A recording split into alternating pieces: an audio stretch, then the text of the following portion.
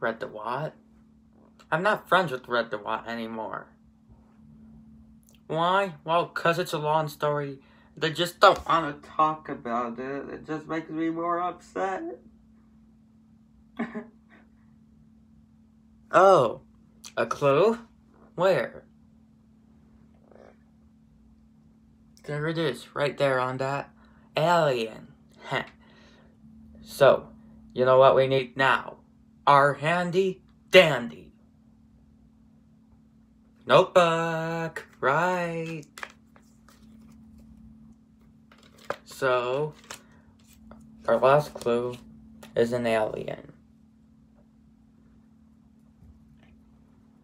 There, an alien.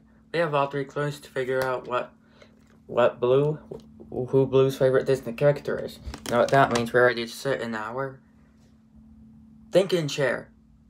Come on.